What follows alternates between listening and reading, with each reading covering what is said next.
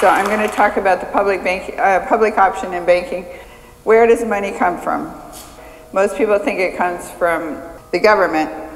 The only money that the government creates are coins, which compose about one ten thousandth of the money supply. Paper dollar bills are created by the Federal Reserve, which you can argue whether it's federal or not. I won't try to get into that. But uh, Federal Reserve notes themselves are only a small part of the money supply. Even with quantitative easing, you're still down to, you're, it's still only about 1 15th of the money supply that's created by the Federal Reserve. So when the Federal Reserve creates money, they don't just spend it into the economy, they lend it, which makes our money supply debt-based. And most of our money is created by banks in the form of loans. Um, i am using this chart because even though it only goes up to 2007, because that's when they quit, when the Fed quit reporting uh, M3, which is the largest measure of the money supply, and it includes the shadow banking system, which is very obscure. So M1 is uh, what we normally think of as money. That's coins, dollar bills, and checkbook money. That's the blue line at the bottom. And uh, coins and dollar bills only come about halfway up that blue line. So you can see that most of the money supply comes from somewhere else. M2 is uh, the circulating money supply that, that we, the people, actually get to use. So that includes uh, coins, dollar bills, and checkbook money, and close substitutes, including savings deposits and individual time deposits. Um, and M3 then adds the large institutional deposits, um, the, the money market funds, the pension funds, mutual funds. So that money actually doesn't even go into banks. They, banks only insure $250,000 uh, in the form of deposits, FDIC insurance. So if you have a lot of money, like a pension fund, and you want to park it somewhere, or say a stockbroker that, that wants to park some money, a mutual fund that wants to park the money overnight or between sales, they put it in the repo market or the shadow banking system, which doesn't involve deposits at all, but that money is still money that's out there competing in the marketplace and um, adding to the money supply. So how do banks create money? Um, Many experts have said that they do, but this, this, this one was particularly clear. Howard, uh, Robert B. Anderson said in 1959, when a bank makes a loan, it simply adds to the borrower's deposit account in the bank by the amount of the loan. The money is not taken from anyone else's deposit. It was not previously paid into the bank by anyone. It's new money created by the bank for the use of the depositor. So this, this chart comes from um, uh, a little booklet called Modern Money, uh, Money Mechanics that was put out by the Chicago Federal Reserve. And it shows the uh, money multiplier model. It's, it's a little obsolete, but it gives you the general idea. You can see that line at the bottom is a, a $10,000 deposit. Uh, if, if you have a 10% reserve requirement, you're supposed to hold back 10% and then you're allowed to lend out 90% of that deposit. That's not really the way it works because they really make loans without regard to their deposits and then find the deposits later. But, but it works out to, the, you know, the bottom line comes out rather like this. So you're allowed to take the, lend 9,000. I guess this doesn't Anyway, the, so the second line would be the 9,000 that, that would then, your, your borrower will write a check which will go into another bank. And then that bank is, uh, holds back 10% and is allowed to lend 90%. So it would lend 8,100, so that would be the third column up. So when you keep doing that over 20 iterations, $10,000 becomes $100,000. But you'll notice that the $10,000 is still there as a deposit in the bank. The $9,000 is still there. The 8100 is still there. So, so you basically double counted all that money, and that's, that's how the money supply expands. There are two ways to look at it. They didn't really create anything. Really, what they did was they just kept making loans. But because they're in two different accounts, both of which count that deposit, and when they count the money supply, they count the deposits, then in that sense, the money supply has expanded. I mean, you could picture it like, let's say your grandmother had $100 under her mattress that she wasn't using. And if you borrowed it and you went out and spent it in the economy, you wouldn't call that an expansion of the money supply. And yet, it did expand the money supply because you're out there competing in the market for goods and services, whereas when your grandmother had it, she didn't, she wasn't using it. But if she had it in an account and it, if you were a bank and you made a loan in another account and it was still sitting in her account, then they called that an expansion of the money supply. So it's all kind of just a technicality, whether banks create money or whether they're just lending and relending money. Still, it, it does, all that extra bank created money or loans competes in the marketplace and um, that's it's that credit on which we run our economy. So that's the money that's the money that we have available for trade. Our, our whole money system goes back to uh, the 17th century. Well, it actually goes back thousands of years. It depends on how you want to look at it. But um, the this particular system of bank-created banknotes goes back to the century, 17th century goldsmiths who would take people's gold for deposit and um, write little receipts for them called banknotes, which was supposedly represented that sum in gold. And the people preferred the banknotes to the gold. They didn't want to carry the gold around. It was heavy and it could get stolen. And other people would want to borrow the gold, and they too preferred the little paper bank notes over the gold. So the, the, bank, uh, the goldsmiths quickly discovered that they could lend many times more notes than they had gold. And that, in that sense, those bakers definitely did multiply the money supply. I mean, they were actually just printing banknotes that were backed by nothing. Nine out of ten of them were backed by nothing. And that was the beginning of the 10% uh, reserve requirement. The problem with that whole system is the interest. The banks would always lend, lend money at interest, of course, and they created the principal, but they didn't create the interest. So where will you get the interest? Um, either someone has to take out another loan, or um, somebody has to default. You know, it's like a big game of musical chairs, and if there aren't enough chairs, then somebody has to default. So right now we have both things going on, where you have debt expanding and expanding exponentially, and you have people going into default.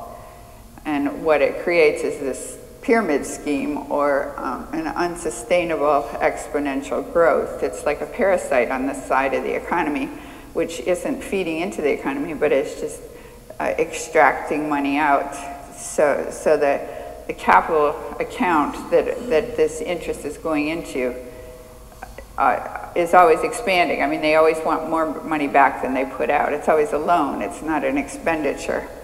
So here are some interesting facts from all that. Uh, Margrit Kennedy is a German researcher who has collated the cost of production at various levels of production of a product. And most businesses run on credit, so they have to pay their workers and materials before they have a product to sell and before the end buyer has paid 90 days net. So in that, for that whole period, they have to operate on credit. And if you add up all the, all the um, borrowings of all the stages of production, uh, whole, wholesalers and retailers, et cetera, then 35% of everything we buy is interest. And 29% of business profits go to the financial industry. So you could deduce from that that if we owned the banks, either we would be 50% richer because if you knocked off that 35% off the top, you could buy three things for the price of two. Or we could have an extra trillion dollars annually, we collectively as a people, to spend on all those things that they tell us that we can't afford and that we have to be tightening our belts and selling off public assets and um, slashing services and firing teachers and so forth for. Or we could eliminate income taxes altogether so I'll show you the figures on that. Um, in 2011, our income taxes were uh, 1100 billion or 1.1 trillion. The total interest collected by banks was 725 billion and the total interest paid on the federal debt was 454 billion. So assume that, that uh, we borrowed only from our own central bank, as has been done by various countries. I'll get to that. Then we would pay no interest, or in effect, the, we would collect the interest back from ourselves. So in effect, it would be interest-free. So we would save 454 billion, plus, I know it's, when it'll be a long time before we have a totally public banking system, but just hypothetically, if we did, and you added those two things together, you get 1.179 trillion, or actually more than we paid in income taxes. That was actually done in colonial Pennsylvania. The American colonists devised this brilliant system of just issuing paper scrip, government issued, that this was competing with the banker issued banknotes. In fact, the paper scrip came out a little earlier than the bank, well, than the Bank of England's banknotes. Um, the, the colonists didn't have gold and silver, so, so their option was to borrow from the British bankers who didn't really have the gold and silver either. They were issuing, they were just issuing paper notes and they were charging interest on it. And there weren't even that many banks around. So even if you wanted to buy, borrow from a British bank, it was hard to do. So there just was a, a scarcity of money for um, productivity and growth.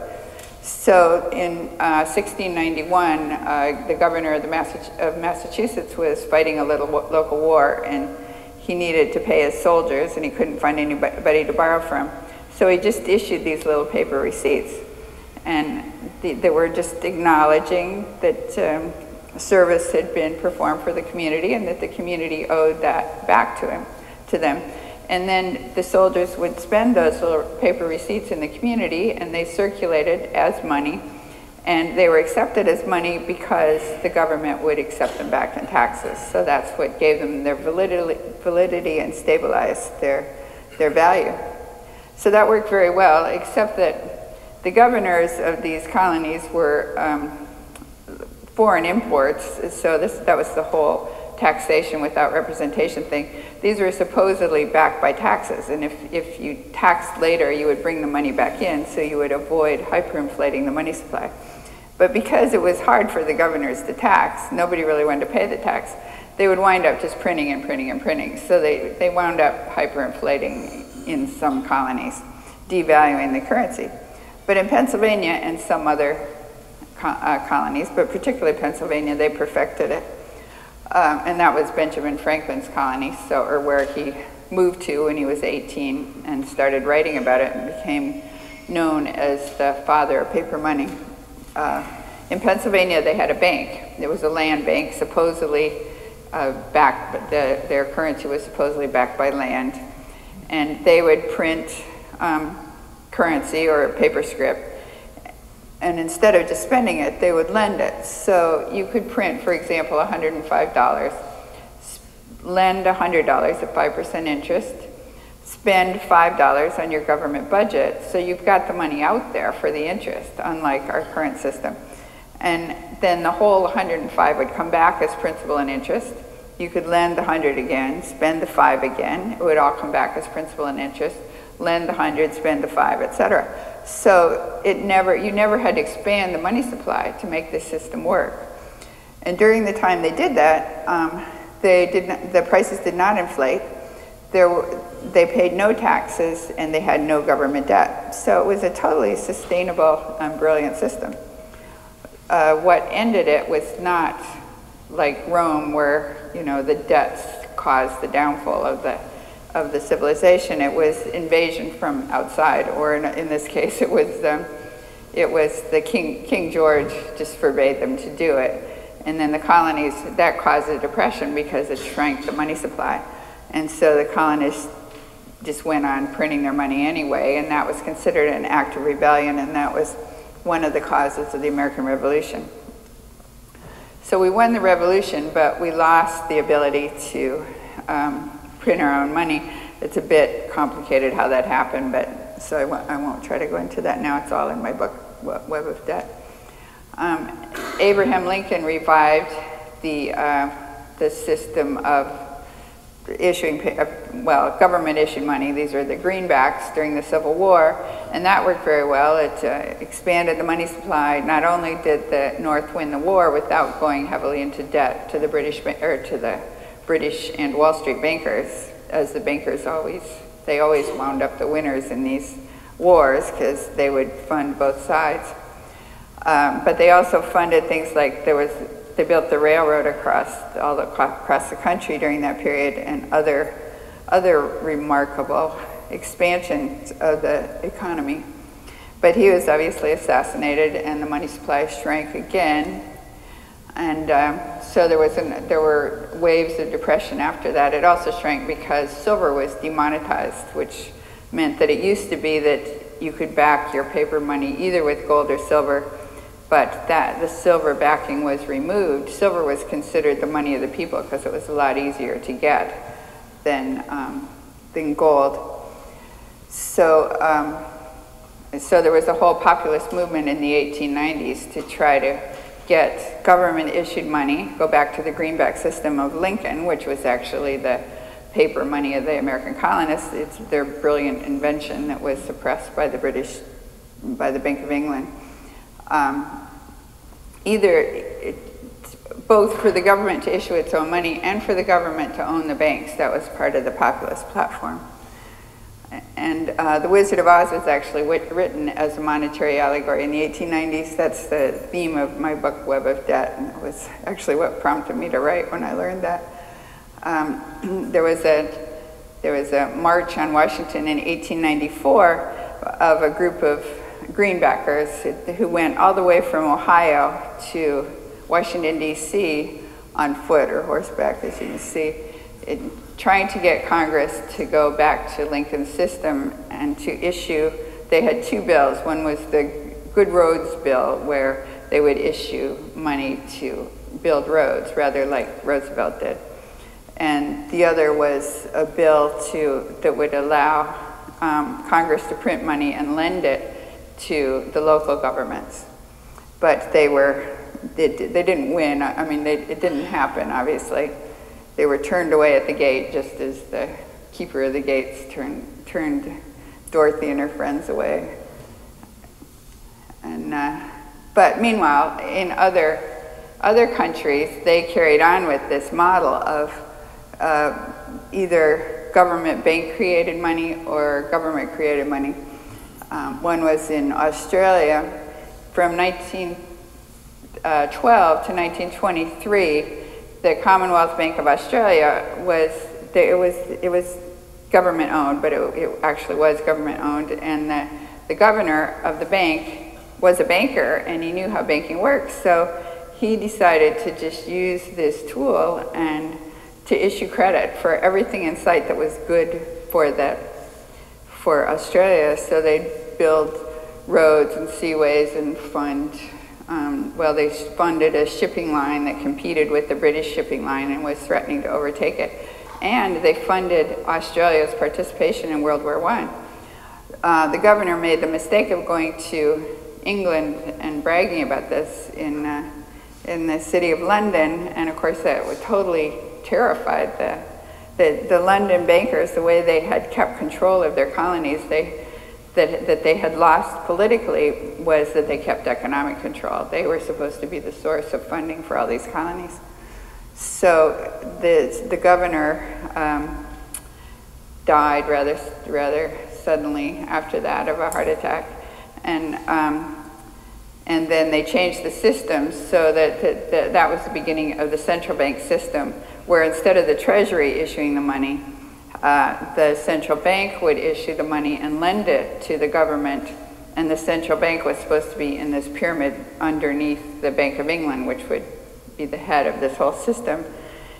And then later, the, the governor uh, from the Bank of England, who came out and chastised the Australians for being for this frivolous printing of money that they were doing, uh, he went on to become the head of the Bank for International Settlements.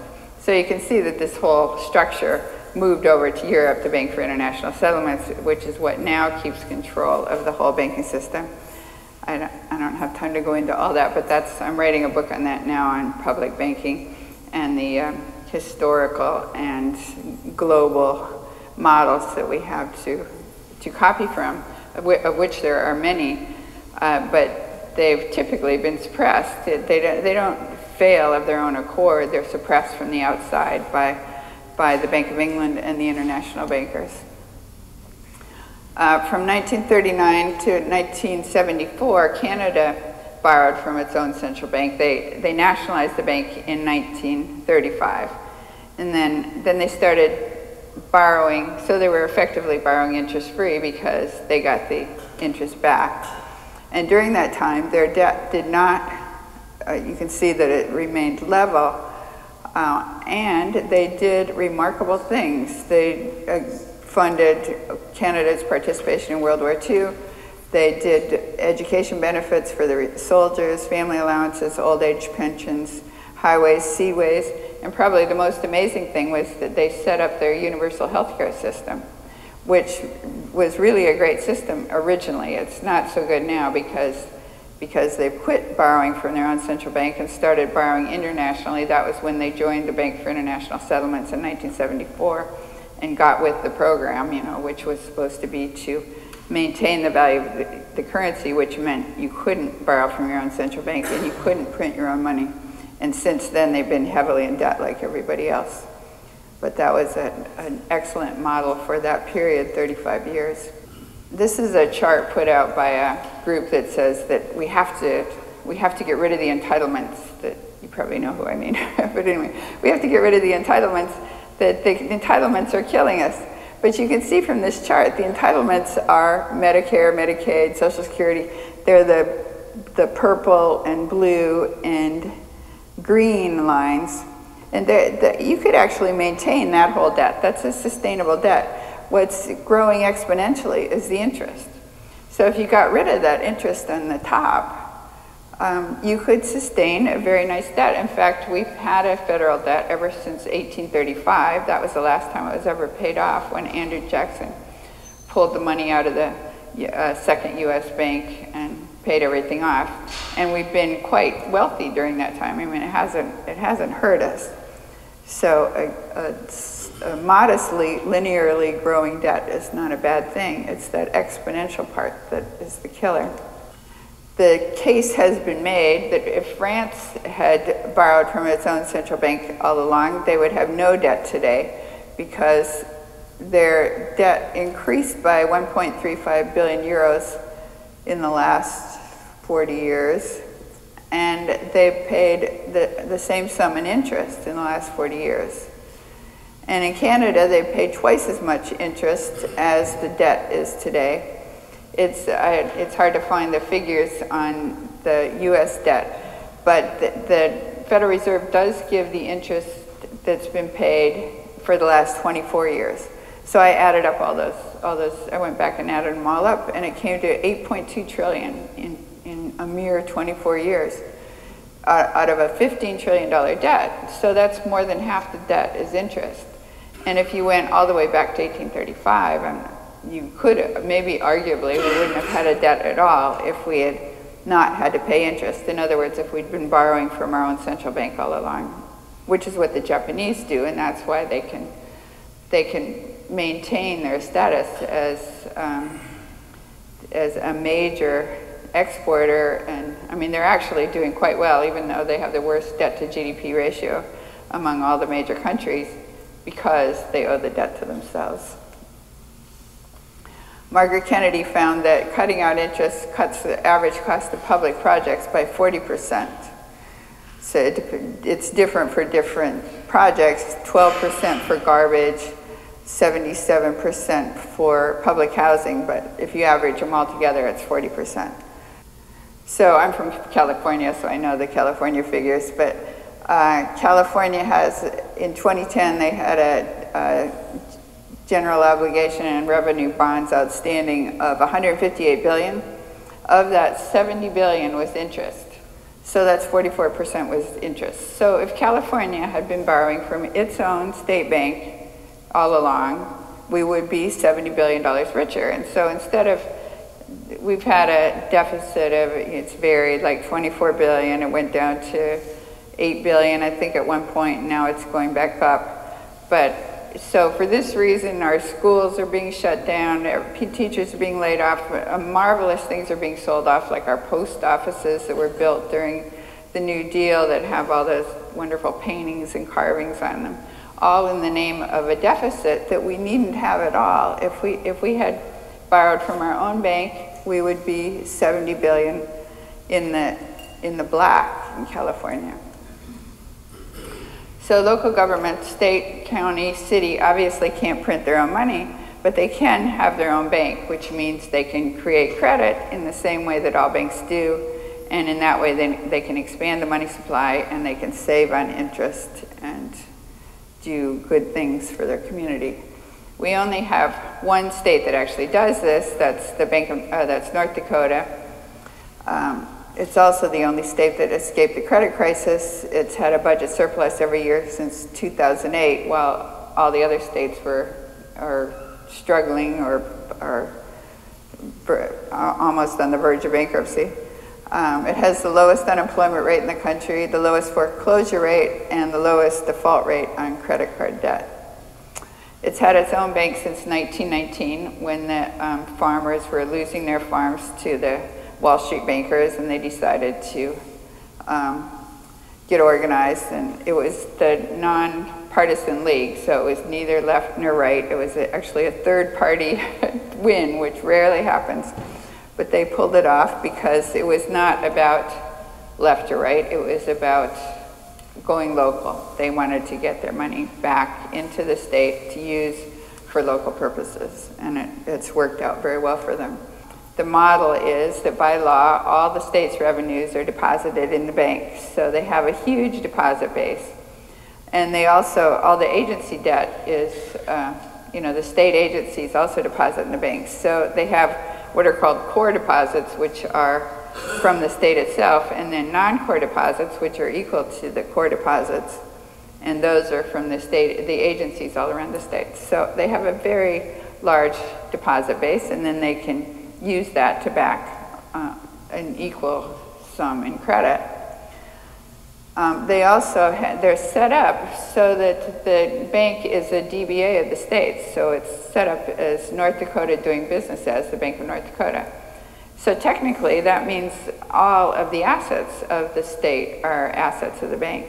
They, they didn't use that as their, as their, to meet their capital requirement in the beginning, and that would be pretty bold to actually do it that way. But you can see that they're pretty much untouchable. I mean, they have a huge deposit base, a huge asset uh, capital base. There's not much that, say, the Bank for International Settlements could do to bring them down. They, and they're not FDIC insured, and so the FDIC can't do much to them. That some people say, well, that makes them risky that they're not FDIC insured, but FDIC insurance only covers $250,000, and obviously the state has much more in the way of deposits than $250,000. So it wouldn't do them any good. It would put them at the whim of what is theoretically a public organization, but it's funded by, by all the banks that put in, that pay their premiums for this insurance. So the banks obviously have a big say. So it's not necessarily something they would want to give um, the power uh, to regulate to. So, uh, the BND has many advantages for the state. They pay a, a very nice dividend every year. Um, in the last decade, they've paid $300 million, which may not sound like a whole lot, but uh, North Dakota is 1/15th the size of LA County. So, so for a state of that size population, it's a pretty, pretty nice return. They've had a return on equity since 2008 when other states were struggling of uh, 19% to 26%. You could compare that to the California pension funds, which are the largest pension funds in the world, which lost 25% and 30% with their money in Wall Street the two years after the 2008 crisis. Uh, the bank pays 5% on deposits. That includes CDs, but that's a, that's a very nice return for, I mean, it's certainly um, within the ballpark of other banks. They provide a direct credit line for the state So, so the state doesn't have to keep these massive rainy day funds. You know, you might have heard of the CAFR funds, the Comprehensive Annual Financial Report shows all this money that's tucked away in funds from agencies and municipal governments, and it's just sitting there growing a teeny bit of interest and doesn't seem to be doing anything at all. So what's all that money doing there? It's because all those municipalities and agencies, they don't have direct credit lines. So say, say a local government, I, I was actually invited to speak at a, um, a conference of uh, finance officers in Missouri. So I said, so what are, what are, this is when the whole CAFR thing came out a few years ago, and I said, so what are all those, the rainy day funds that you keep, and why do you keep them? And they said, well, it's actually happened that they would miscalculate the budget, and the whole city would come to a standstill until they could, they'd have to do another bond issue, or, you know, they'd have to go to the voters, or they'd have to borrow at quite exorbitant interest rates. So they feel it's safer to keep these rainy day funds. But it's just wasted money. If you had a, a credit line with your own bank, as Wall Street has with each other, you know, the, the Fed funds rate is now 0.25%. So they can all, they, they get this very cheap liquidity from each other. And meanwhile, the states have to do bond issues, borrow at 4 or 5% or 8% or whatever. If you're Greece, it's 30%. And, and you leave yourself vulnerable to, um, to the rating agencies, and you have to get interest rate swaps, which have turned out to be a horrible scam that have killed a lot of city budgets. So if you have your own credit line with your own bank, that's a very big deal that you can get credit when you need it. Um, the Bank of North Dakota partners with the local banks, so, so it, it, in, it guarantees their loans and increases, helps them with the capital requirement and helps with liquidity. So it increases the size of loans that local banks can undertake. Uh, it guarantees stable low interest rate for state and local government projects provides low interest loans for particular things like in North Dakota, it's an agricultural state, so they gave 1% loans to startup farmers and they give low interest loans for alternative energy, that's one of their projects. Um, they, but they, they have a mandate to serve the state, a mandate to serve the public. And so they're not there to churn loans, and they're all civil, civil servants. I mean, they don't get bonuses, fees, and commissions for for turning over loans, so that so they do only credit-worthy loans. They, we have a, um, I'm president of the Public Banking Institute, and we have a retired Bank of North Dakota man on our advisory board, and he says that they make it clear that we are not a development bank. We are we are not politicians. We are bankers, and we we take we only do credit-worthy loans. You know, we we bank very conservatively They've been, they've been doing this for years, so they've built up a very nice um, uh, capital fund from the, the, the, profits they made on loans, many of which were federally guaranteed loans that could not have otherwise been taken by the local banks. Because I guess, like for VA, FHA, um, the student loans up until recently, you had to have I, don't know, a bigger staff than, I, am not sure that Jared can probably talk about that, but you have to have a bigger staff than, than your typical local bank has, so they couldn't take those loans. But they're federally guaranteed, so that's like a free 3%, free, it's just free money that we're giving away to Wall Street.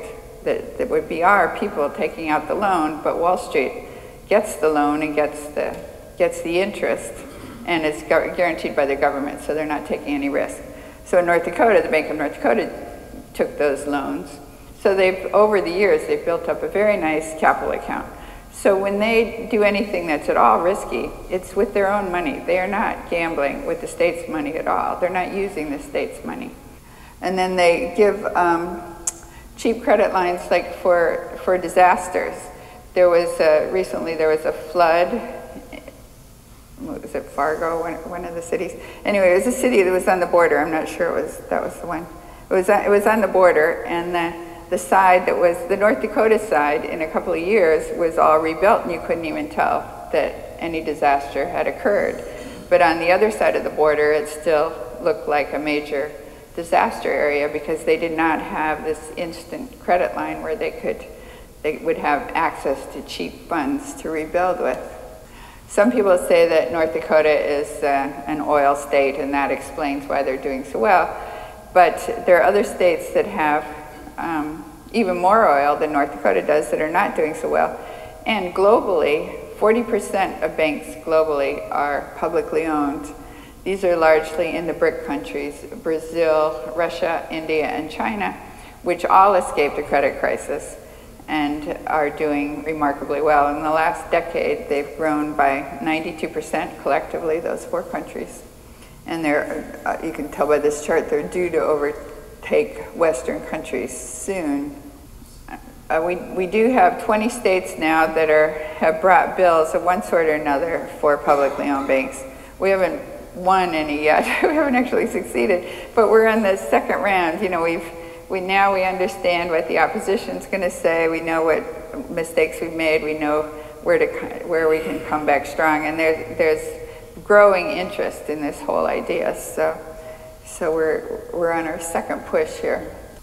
Uh, uh, on our website, publicbankinginstitute.org, we have uh, ways that you can, or information on how to set up a bank, but here's generally what you would need to do. First, you have to get legislation passed. So that means you either have to get a legislator who's, uh, who's willing to, to bring a bill, or you could do an initiative. Colorado's doing an initiative. I think the problem with the initiative right now is that people don't understand what you're talking about. So if you went into a, a grocery store and you said, would you like to sign my petition for a public bank? They would say, well, I don't like banks or I don't like government or they, they just wouldn't understand why, why this was a benefit to them. So, so that's what the first thing we need is uh, just informa- getting information out there, changing decades or centuries of brainwashing in the other direction. And then you need, you need to get a charter, but that's actually not very hard. You could just buy a failed bank. This could all be done in about three months. You could buy a bank and um, the, the bank would already have the charter from the state and it would already have FDIC insurance, assuming you wanted the insurance. And then you have to raise capital to meet your capital requirement. I don't, Jared might be able to talk to this too, but I heard, I used to hear that you could set up a bank for five million, but now it sounds like it's more like 20 million. But you could say if you wanted to do a city bank or a county bank particularly, it wouldn't take, take that much in the way of capital. And you could get it by doing a bond issue, which is what the Bank of North Dakota actually did. And if you're, there, there's all sorts of money sitting on the sidelines now, as they say, looking for a good investment. And people want something sustainable that's helping their community. Well, this is something, if they understood what we're talking about here, it definitely would help the community, and it's a, a good, solid investment guaranteed by your government. Or they could tap into some of those funds that are sitting around not being used for much. In California, the Treasurer has a treasurer's pool, treasurer's investment pool, that has $70 billion in it. And it's, it's earning 0.49% interest. So it's earning almost nothing. And if you look at a chart of this fund, it's done nothing over the next last decade. I mean, they haven't really used it. It's just money sitting there. All the agencies put their money into it. So, but you can't use it for the budget. In fact, um, Governor Schwarzenegger tried to get the highway fund money to use for the budget and somebody sued and the court said, no, you, you can only use that money for highways. I mean, they haven't used it for highways because the highways aren't in very good shape. But anyway, that, that money's all sequestered and um, earmarked for specific things. But what you could do is use it as just shift the investment. I mean, it's up to the treasurer what he puts, what he invests in. Um, I think it might be stretching it a little bit to put it in bank stock of a state-owned or publicly owned bank, but, but you could certainly change, tweak the legislation. I mean, we've seen so many examples of the legislation being changed when it serves the banks. So there's no reason they couldn't change the legislation a little to serve the public. And then you would need deposits, but you can get those from the revenues of the local government.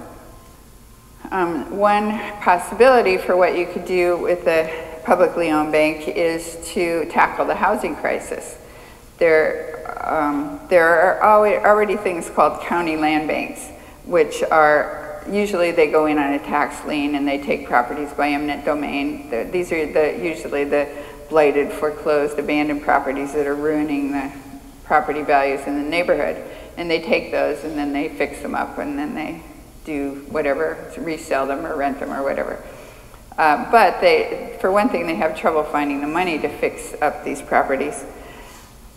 But now we have this um, legis- or lit- uh, many cases in many jurisdictions finding that MERS, the Mortgage Electronic Registration Systems, oops, the, um, it's an electronic database in the name of which more than half the properties in the country have been um, recorded. They're recorded in the name of MERS. And it's really this big smoke screen behind which uh, the shadow banking system is doing, leveraging your real estate 30 times over, selling it off to multiple investors, chopping it up into little pieces.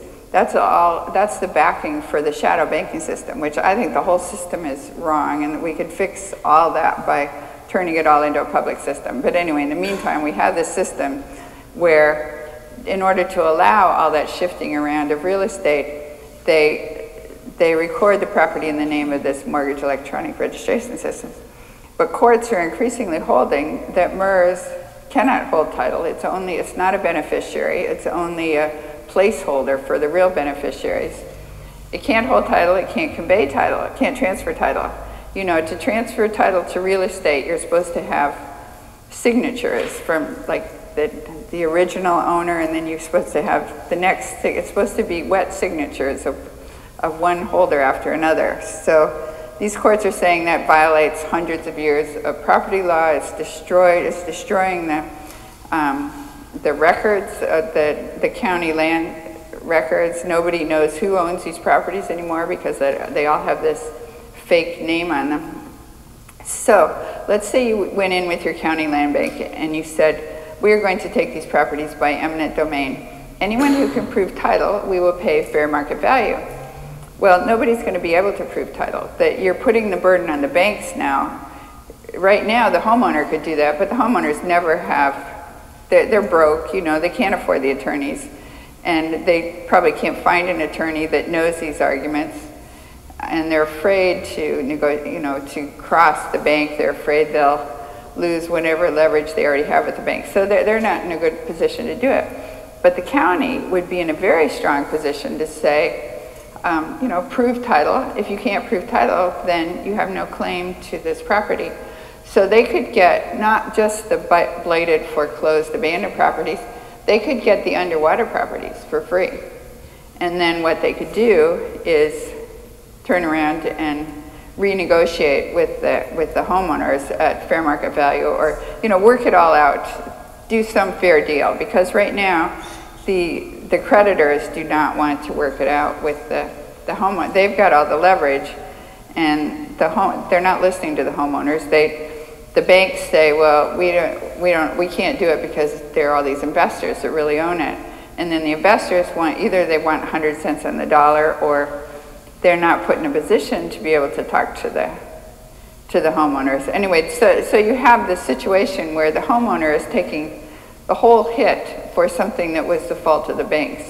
The, the, the housing market dropped by 50% because of a banking crisis, but the homeowners, not the banks and not the investors, have had to take the hit.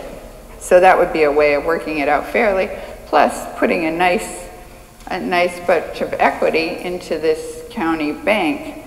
So if you actually put your county revenues in, in it as well and used it as a depository bank, you could leverage all that all that money that you've just gotten access to to create credit for the state for the county and do many good things for it, like possibly save the government from bankruptcy. The the one uh, San Bernardino County is considering uh, a proposal to take underwater properties by eminent domain. And there, San Bernardino, the city, is actually filed for bankruptcy. So they're quite desperate. And people are telling them, oh, you can't do that. But the, but the, um, the board of, whatever, the board of supervisors or whoever runs the, the county, they're desperate. So that's when people, when people are desperate, that's when they start thinking of these more creative ways. Like, well, they've, they told us we couldn't do many other things that we actually did. You just have to tweak the rules a little bit. A publicly owned bank can raise government revenues without raising taxes. So they can do it with this big dividend that, in other words, they're returning the profit to the government. And they increase the tax base by increasing the credit generally in the, in the economy, which allows uh, businesses to, the first thing you have to do is get demand going. You have to get money into the pockets of the, the buyers, and that means the consumers. So that means you're going to have to somehow give these people jobs so that they have the money to go spend. And then they put in more orders for shoes and then the shoe that doesn't drive up the price of shoes. What it does is the shoe salesman puts in more orders with the manufacturer. The manufacturer hires more people and they make more shoes. So to get this whole system going again you need to get money into the pockets of the people. And for that you need to increase the credit base that, that the businesses have and you can do it by um, reducing government borrowing costs. So either effectively you're borrowing interest free, and if, the, if for some reason the rating agencies don't approve of that, what you can do is you can take the credit that you create with your deposits and buy municipal bonds that are paying 4% interest, let's say.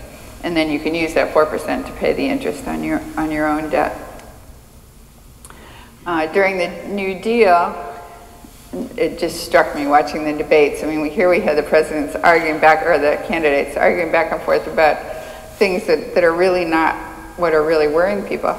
But in the New Deal, uh, Roosevelt had, well, he had a bank, which was called the Reconstruction Finance Corporation. It wasn't even a bank, it was just a financial institution, but it was publicly owned. It was run by Jesse Jones, and he just gave Jesse Jones carte blanche to do whatever ever he wanted, and he was a very sharp and very um, moral man who who just funded everything in sight that was going to improve the that was going to add to the well-being of the people and that would create jobs.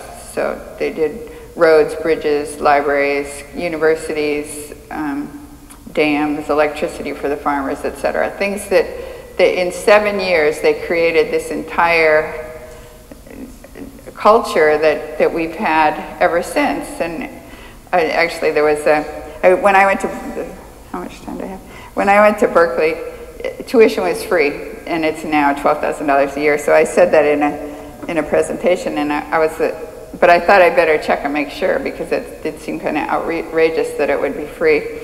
And so I found this uh, professor who had written in his commencement speech, he said, uh, when I went to when I tell my students that when I went to Berkeley in the 60s, tuition was free. Their jaws dropped to the floor. He said, and this is the reason he, he was a historian, or a, I'm not sure what, but anthropologist or something. Anyway, he was doing this archaeological dig as if it was ancient history because it was so foreign to what we have today. And they were going around and identifying all the things that had been built in these seven years. And what, what was remarkable is not just all the things that they built, but the whole sentiment behind them. They have these little sayings, you know, the truth shall set you free, and and sayings from all these famous people, and they, and they painted these really neat little murals around and, and did little uh, carvings and stuff. I mean, it was a real cultural phenomenon that we just we just don't have today, and that was all done with a public bank effectively. What they did was they just issued the credit and did it. They didn't argue about it they didn't have, um, actually, the, the conservatives were opposed to the whole New Deal, of course, but they couldn't stop them because they didn't need congressional appro approval. So they just did it. And it worked out very well. It, was, it actually returned a very nice dividend to the people. That what they did was they issued the credit first, and then they borrowed the money from the Treasury, and then the Treasury issued bonds, and the people bought the bonds, um, you know, the Liberty Bond type things. I mean, it was kind of your patriotic duty, everybody was in support of this whole thing. It wasn't like taxes, you didn't have to buy the bonds, but people wanted to buy the bonds. They wanted to help the country and they wanted the bit of interest they paid. So after paying the interest and their costs, they still turned a very nice profit at the end of, by 1945 when they, they also funded World War II, but it was, it was before that, during the New Deal, that they built all these amazing things just by issuing credit and funding it by borrowing. Buckminster Fuller said, you never change things by fighting the existing reality. To change something, create a new model that makes the old model obsolete. So the public banking model is that the government borrows from its own bank, returning the interest to the public. So this makes a sustainable system. Bank profits feed the economy rather than feeding off it. So for more information, um, the Public Banking Institute website is publicbankinginstitute.org and my own website is webofdebt.com and I have like over 150 articles that I've written on this subject on, the, on my website.